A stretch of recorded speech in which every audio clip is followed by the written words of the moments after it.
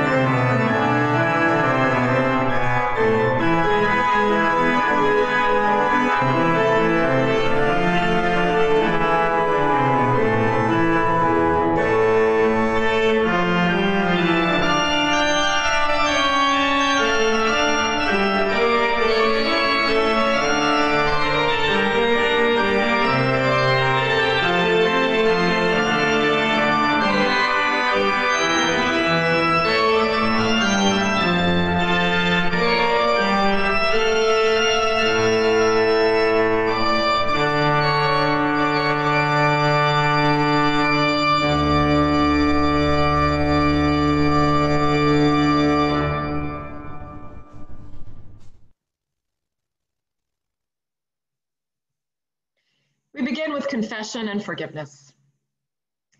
In the name of the Father, and of the Son, and of the Holy Spirit. Amen. Almighty God, to whom all hearts are open, all desires known, and from whom no secrets are hid.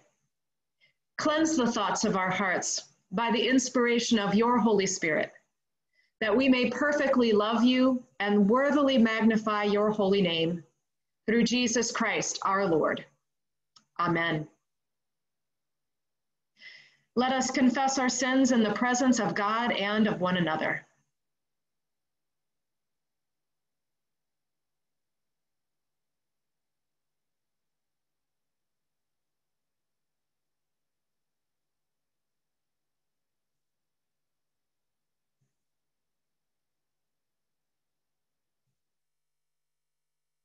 Most merciful God, we confess that we are captive to sin and cannot free ourselves. We have sinned against you in thought, word, and deed, by what we have done and by what we have left undone. We have not loved you with our whole heart. We have not loved our neighbors as ourselves. For the sake of your Son, Jesus Christ, have mercy on us. Forgive us, renew us, and lead us so that we may delight in your will and walk in your ways to the glory of your holy name. Amen.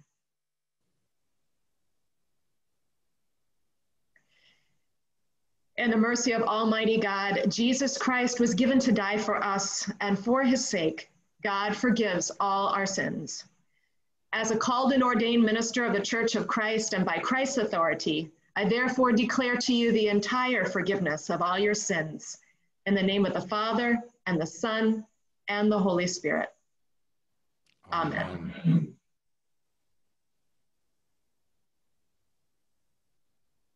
Please join in singing our opening hymn.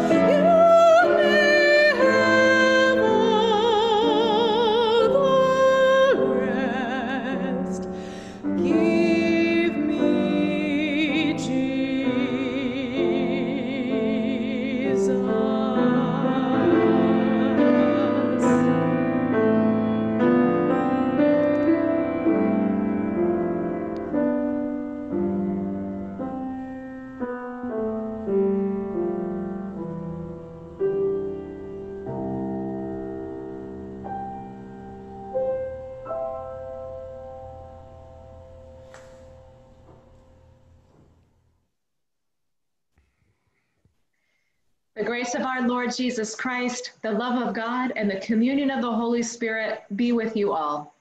And also with you. Let us pray.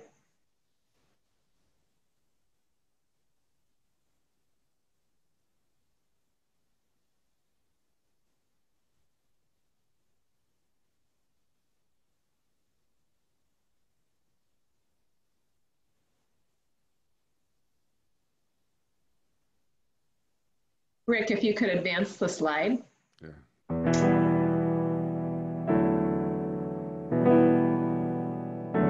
In peace, in peace, let us pray to the Lord. Lord, have mercy. Christ, have mercy.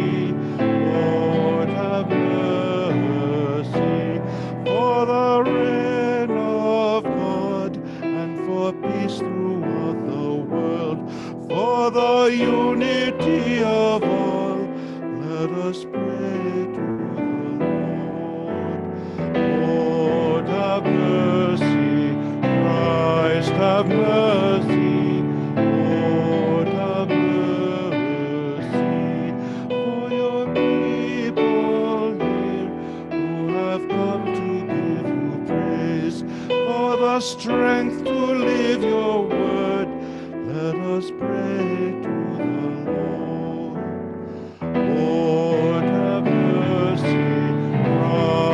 have mercy.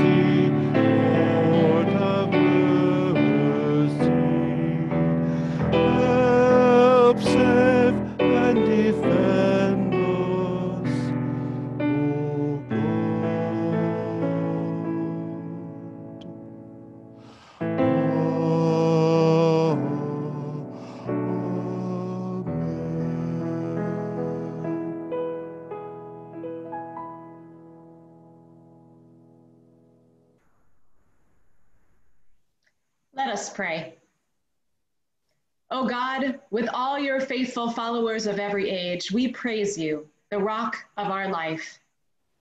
Be our strong foundation and form us into the body of your Son, that we may gladly minister to all the world. Through Jesus Christ, our Savior and Lord. Amen. Amen. It's now time for the children's sermon. So I brought with me today a few rocks. And that is because I wanted to think with you just a little bit about the disciple named Simon. I'm going to hold that so you can look inside at my rocks. Anybody know stories about Simon the disciple? He's also known as Peter.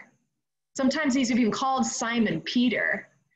It's the same guy, but Simon was given a new name by Jesus. And in fact, it happens in today's gospel lesson. We're going to hear it in just a few minutes. Now, by this time, Jesus has had his disciples with him. They've been sent out in ministry. He's taught them a lot. And he wants to kind of see if they're getting it. And so he asks them, almost like a final exam question. He says, Who do you say that I am? And they give all kinds of answers, answers like other people are giving, well, maybe Elijah, maybe the prophet. But it's Peter, Simon Peter, who says, You are the Messiah. And he gets it right. Bonus. And that's when Jesus gives him his new name. He says, Simon, I'm going to call you Peter, and upon this rock I will build the church.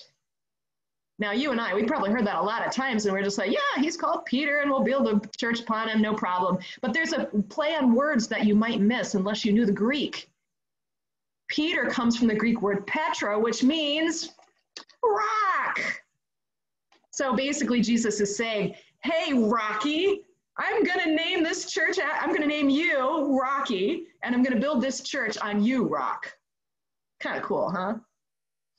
Later in scripture, the epistles pick up on this idea of rocks and call us all living stones upon which the church is built. So it's not just Peter upon whom the church, who, with whom the church is built. It's all of us rocks that build the church, build the body of Christ. As a kid, I was taught a song about that. It was called I am the church, you are the church, we are the church together. I see some of you smiling. You must know that song. All the follow Jesus all around the world. Yes, we're the church together. Now, here's the part I think that's really kind of salient for us in COVID times. The church is not a building, the church is not a steeple, the church is not a resting place, the church is a people. I am church, you are the church, we are the church together. So, I invite you today, in honor of the gospel lesson, to choose a favorite rock and to keep it with you this week. To remember that we are the church. We are the rocks which build the body of Christ of the world today. And Jesus' message is lived out through our lives because of the Holy Spirit. Amen. Amen. We continue now with the readings from Scripture. The reading this morning is from Romans chapter 12, verses 1 through 8.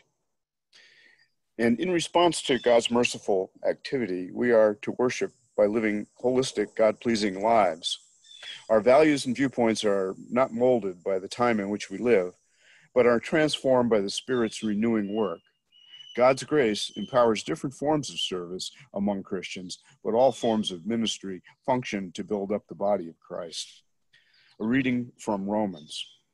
I appeal to you, therefore, brothers and sisters, by the mercies of God to present your bodies as a living sacrifice, holy and acceptable to God, which is your spiritual worship. Do not be conformed to this world, but be transformed by the renewing of your minds, so that you may discern what is the will of God, what is good and acceptable and perfect. For by the grace given to me, I say to everyone among you, not to think of yourself more highly than you ought to think, but to think with sober judgment each according to the measure of faith that God has assigned. For us, as in one body, we have many members, and not all the members have the same function. So we, who are many, are one body in Christ, and individually we are members of one another. We have gifts that differ according to the grace given to us prophecy in proportion to faith, ministry in ministering, the teacher in teaching the exhorter in exhortation, the giver in generosity, the leader in diligence, the compassionate in cheerfulness. This is the word of the Lord. Thanks, be to God. God.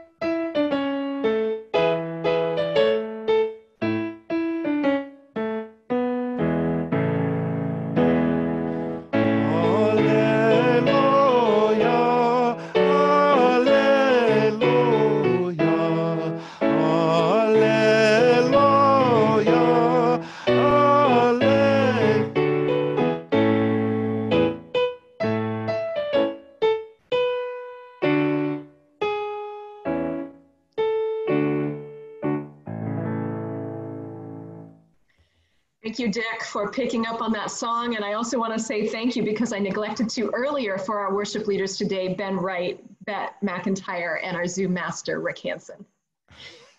Here now, the Holy Gospel according to Matthew. Glory to you, O Lord. Glory to you, O Lord. Now, when Jesus came into the district of Caesarea Philippi, he asked his disciples, Who do people say that the Son of Man is?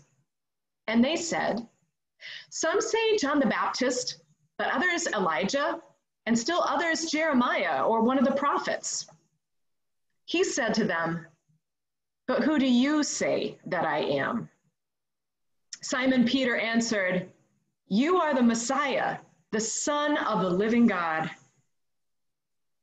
And Jesus answered him, Blessed are you, Simon, son of Jonah, for flesh and blood has not revealed this to you, but my Father in heaven. And I tell you, you are Peter, and on this rock I will build my church, and the gates of Hades will not prevail against it. I will give you the keys of the kingdom of heaven, and whatever you bind on earth will be bound in heaven, and whatever you loose on earth will be loosed in heaven. Then he sternly ordered the disciples not to tell anyone that he was the Messiah. The gospel of the Lord. Praise, Praise to you, O Christ. Christ.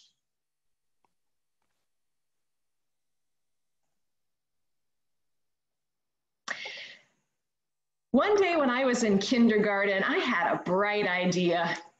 We were coloring in apples on a sheet of paper, four of them on the sheet.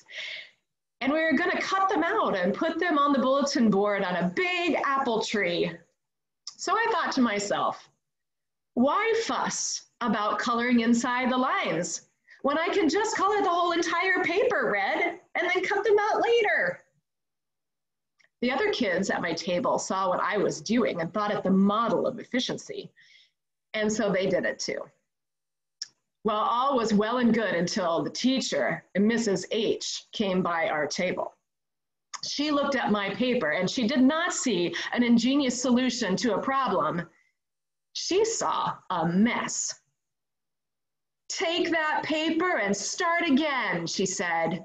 And this time, Stay inside the lines. Stay inside the lines. It's a message we've all received at one time or another. Follow the rules. Keep your head down. Do the tried and true. And above all, don't make trouble. But this is not the advice that St. Paul gives in our lesson today from Romans.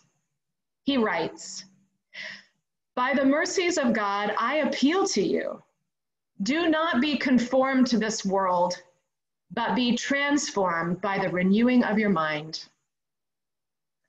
He goes on to cite examples about living in a countercultural way, looking honestly at yourself instead of promoting yourself using your gifts not for your own gain, but to build up others. And if you read on in the passage, beyond what we shared today, you'll see that in this chapter, Paul also expects Christians to do other unexpected things, to make peace with others rather than protecting your own territory, to care for the poor rather than looking the other way to welcome the stranger instead of being wary of them. Do not be conformed to the world's habits, Paul is saying. Color outside the lines, and it will transform you by the power of the Holy Spirit. St. Paul was indeed a person who lived outside the lines. He was raised as a Pharisee a sect of Judaism which focused on living out the law given by God. 517 laws of scriptures governed everything from when to wash your hands to how to treat mold in your house to whom you could eat with. And Paul, he kept them all. But when he became a Christian, he began to see how God's good law could be twisted into slavish rule following rather than loving devotion. And so, St. Paul stepped outside the lines and began to preach to non Jews, people who didn't keep the law at all, and told them that they didn't have to keep those laws in order to become Christians. It caused a lot of conflict but the Holy Spirit's work in Paul and others like him transformed the work of the church from being a Jewish faith into a universal one that welcomed all people, including you and me. The truth is, sometimes you have to step outside the accepted boundaries because, frankly, the established boundaries are too small. Martin Luther is an example of this, our forebear that our church is named after. Upon realizing that the foundation of medieval theology was based on the notion that you could buy your way into heaven through the sale of indulgences, he went outside the lines and returned to the Holy Scriptures proclaiming that salvation was to be found in the grace of God alone. The civil rights movement in our country is another example. Luminaries like Martin Luther King Jr. and Fannie Lou Hamer and John Lewis stirred up what John Lewis called good trouble and went outside the lines to challenge the laws that kept people, Black people, from voting, public amenities, and equal opportunities. In each of these cases, new possibilities were created because people were willing to explore the in between places, the outside the boundary places, the places beyond what was commonly accepted as right and wrong, and to look closely at the effects of current practice and policy, and to listen to the lived experience of their neighbors. But let's be fair.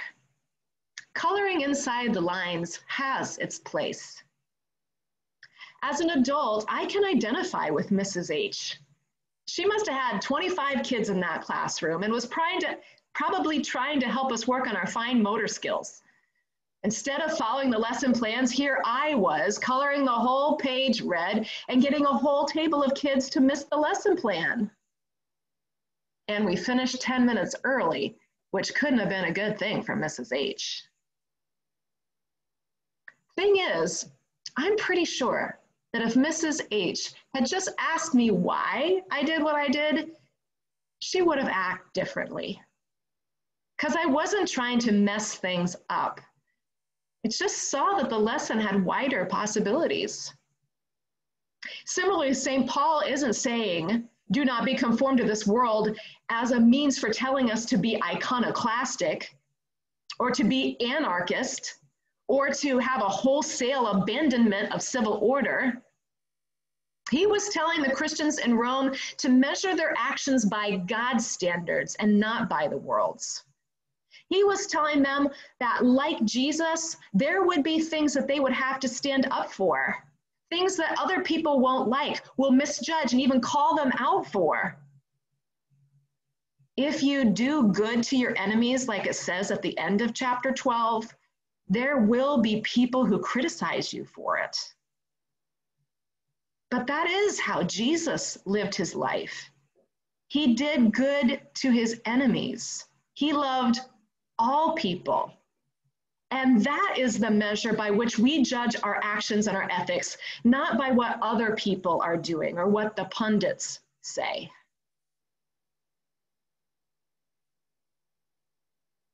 We live in challenging times where loud voices claim to right and claim the other side wrong.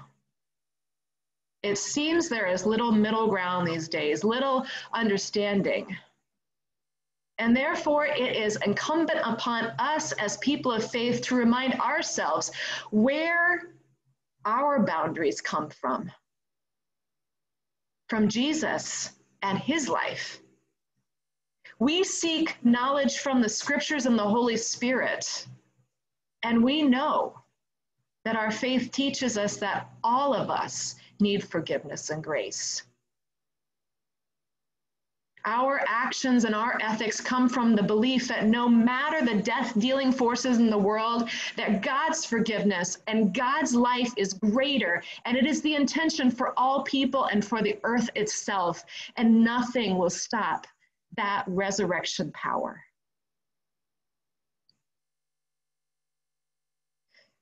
Today, I want you to let Paul's words inspire you to think about how you are coloring. What lines have you been staying inside of? Are there lines that are unjust, that keep people out, that punish rather than help? Are you called to stir up some good trouble Maybe there are some boundaries that need to be crossed. Take heart, St. Paul's words, as if they were written for you. I appeal to you by the mercies of God. Do not be conformed to this world, but be transformed by the renewing of your mind. Be willing to color outside the lines and let the Holy Spirit shape the outcome. Amen.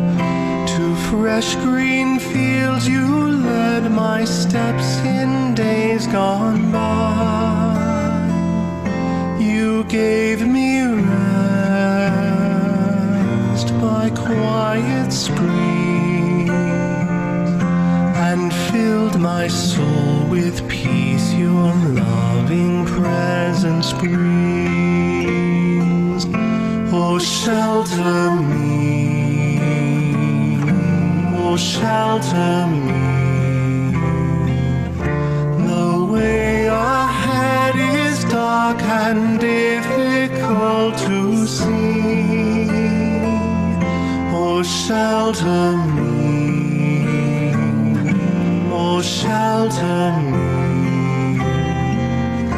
All will be well if only you will shelter me.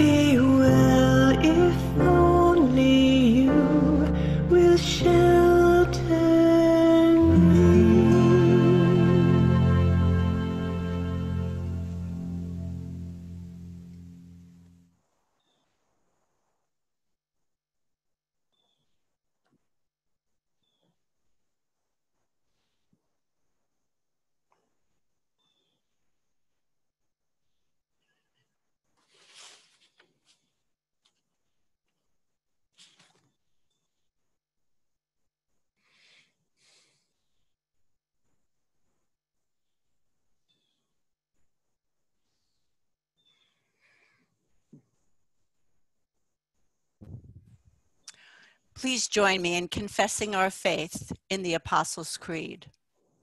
I believe in God, the Father Almighty, creator of heaven and earth. I believe in Jesus Christ, God's only Son, our Lord, who was conceived by the Holy Spirit, born of the Virgin Mary, suffered under Pontius Pilate, was crucified, died, and was buried. He descended to the dead. On the third day, he rose again. He ascended into heaven, and he is seated at the right hand of the Father, and he will come to judge the living and the dead. I believe in the Holy Spirit, the Holy Catholic Church, the communion of saints, the forgiveness of sins, the resurrection of the body, and the life everlasting. Amen.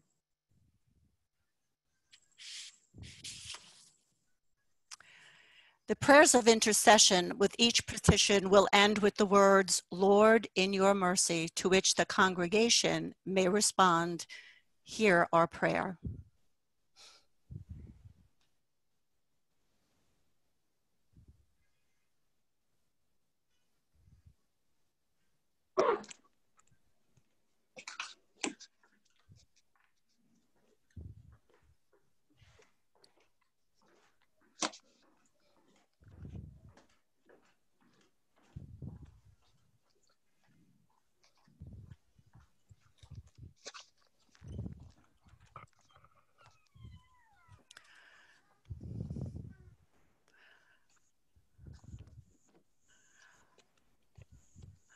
Confident of your care and helped by the Holy Spirit, we pray for the church, the world, and all who are in need.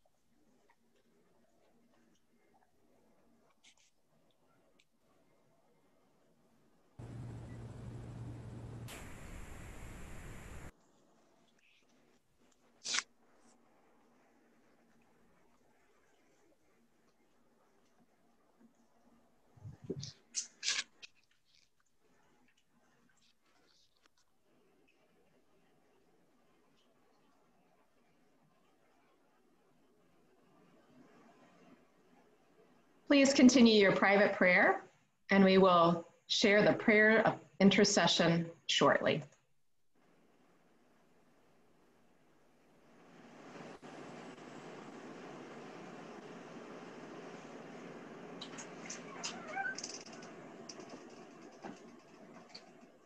Lord, our rock, you are our foundation in Jesus Christ, your Son, whom we confess as the living God Prepare your church for its mission in bearing witness to Christ, both here and at home throughout the world. Lord, in your mercy, hear, hear our, our prayer. prayer. You call forth praises from the far reaches of the universe to the smallest of creatures. Join our songs to theirs, that a spirit of praise and thanksgiving will arouse us to cherish this wondrous home you give us protect the earth from the dangers of fire, pollution, and overuse. Lord, in your mercy, hear, hear our, our prayer. prayer. All the kings of the earth shall praise you, O Lord. Direct the leaders of the countries, legislators and magistrates, mayors and councils to walk in your ways. Guide those in political office to ensure fair and peaceful elections. Help leaders regard those in need with mercy and fulfill your loving purposes in the governance of people. Lord, in your mercy, hear, hear our, prayer. prayer. Though we walk in the midst of trouble, you preserve us, deliver us, and fulfill your purpose for us. According to your steadfast love, grant healing and wholeness to all who are bereaved, in trouble, or adversity, or sick and in need of care, especially for Bruce McIntyre, for Linda, as Wednesday marks the four year anniversary of her death, for Dick and Judy Kraft, for Caro, for Leah Olson Kennedy battling COVID, for Carolyn, for Lisa and Melissa, the Lindquist's friends, for Tammy Crashar, for all the California firefighters and people affected by the fires, for Kurt as he continues his clinical pastoral education, for grace upon all of us, our spiritual leaders, our youth, the incarcerated, the elderly, the fearful, educators, that we all mind the beauty and the opportunities during this time. For Pastor Julie during her silent retreat, that she renews her minds and is transformed. And for all of those whom we name silently at this time.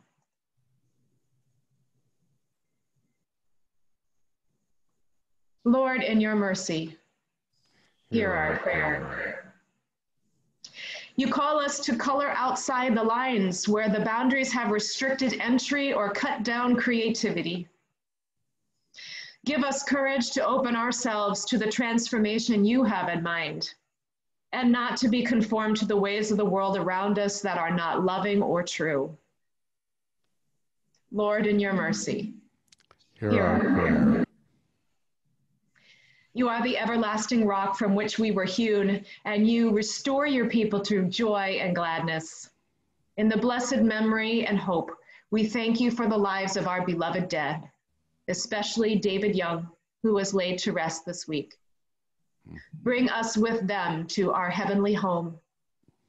Lord, in your mercy, hear our, hear prayer. our prayer. In the certain hope that nothing can separate us from your love, we offer these prayers to you through Jesus Christ, our Lord. Amen. Amen.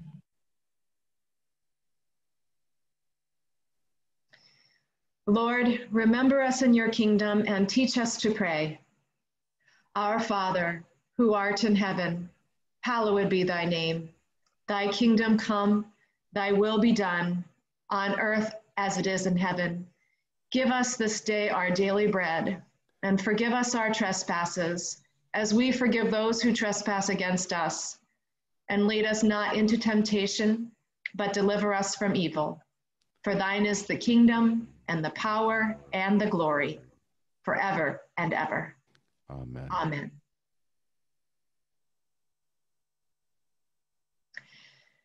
Receive this blessing. Neither death nor life, nor angels nor rulers, nor things present nor things to come, nor powers, nor height, nor depth, nor anything else in all creation will be able to separate us from the love of God and Christ Jesus. God the Creator, Jesus the Christ, and the Holy Spirit the Comforter bless you and keep you in eternal love. Amen. Amen. Our closing hymn.